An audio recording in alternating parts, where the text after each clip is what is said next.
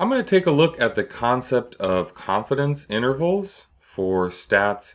Um, specifically, we're going to start with a single population mean and just talk about the concept alone. And in separate videos, I'll talk about calculating these various components of it.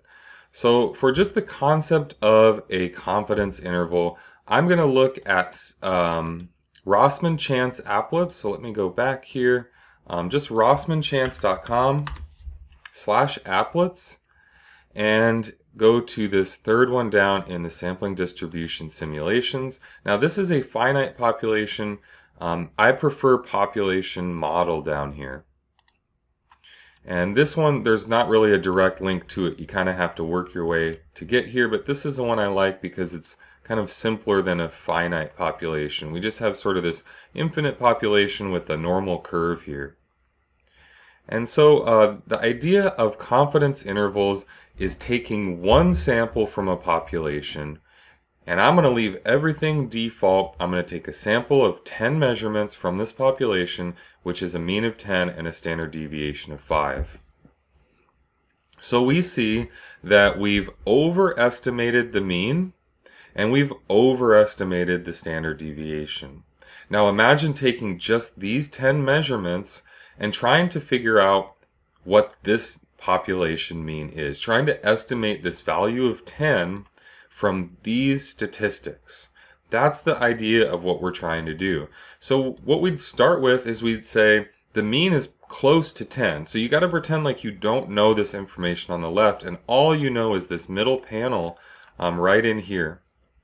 So you're saying, I think that the population mean is close to 10.796, but I imagine that there's probably some error in that estimation.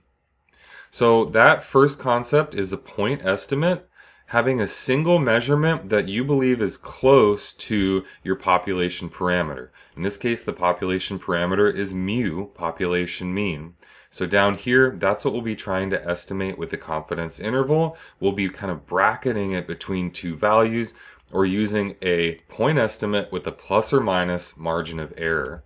So you could see right there, there is a formula to calculate margin of error. I'm going to do that in a later video. So the way that this um, margin of error is affected, it kind of comes down to several things.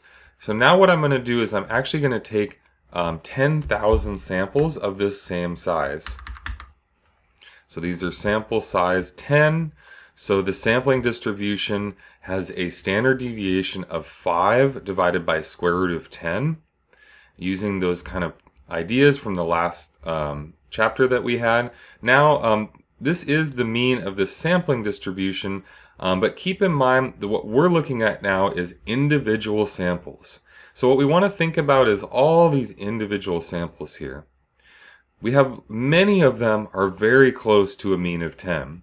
So a lot of them have um, kind of accurately estimated the population mean.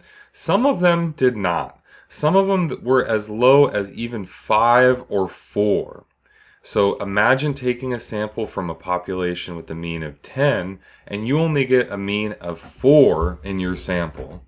That's way low. That's extremely low. That means that your sample was all kind of probably down here to the left of mean or, or for the most part um, below average. So we see that there's a potential to severely underestimate the population mean down here, and there's a potential to severely overestimate the population mean up here. So we have a plus or minus margin of error. And what we want to do is decide how far over do we want to go. We would probably want to avoid um, using a, an extremely large margin of error because that wouldn't really make us look, um, you know, very intelligent.